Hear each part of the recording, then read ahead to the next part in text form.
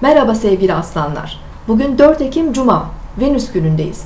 Yakın çevreyle olan iletişimlerinizde dış etkenler nedeniyle bazı kopukluklar meydana gelebilir.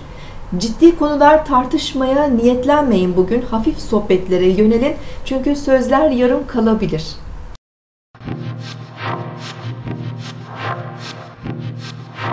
Burcunuzu dinlediniz. Bugün 4 Ekim Cuma, Venüs günündeyiz. Ay sabah saat 06'da Terazi burcuna geçiş yapacak. Terazi burcundaki ay ilişkilerde denge ve uyum arayışına dikkat çekiyor. Gün boyu ilişkiler, ortaklıklar, sanatsal konular daha fazla öne çıkabilir. Bu gece sabaha karşı yeni ay doğacak. Yeni ay öncesinde bugün ayın ışığı iyice azalmış durumda. Yeni girişimler ve başlangıçlar için yeni ayı beklemek daha doğru olacaktır.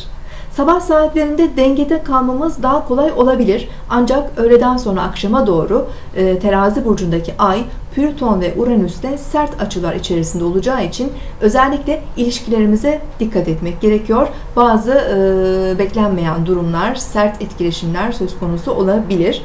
E, bu gece 03.36'da e, terazi burcunun 11 derecesinde yeni ay doğacak. Yarın tekrar görüşmek üzere. Hoşçakalın.